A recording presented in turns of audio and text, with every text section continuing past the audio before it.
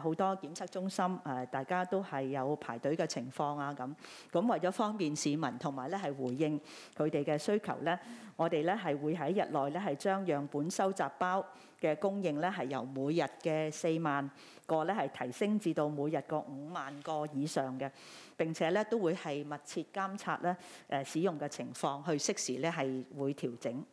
調節。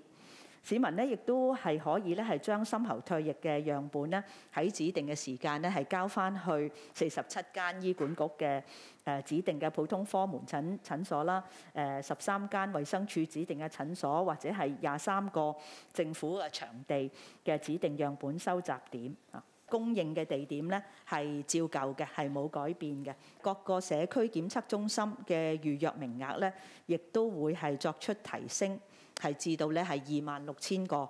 誒以上嘅，並且咧係已經係增加人手咧，係為市民咧係提供服務。政府咧亦都係正咧係同檢測承辦商咧喺港九誒新界啦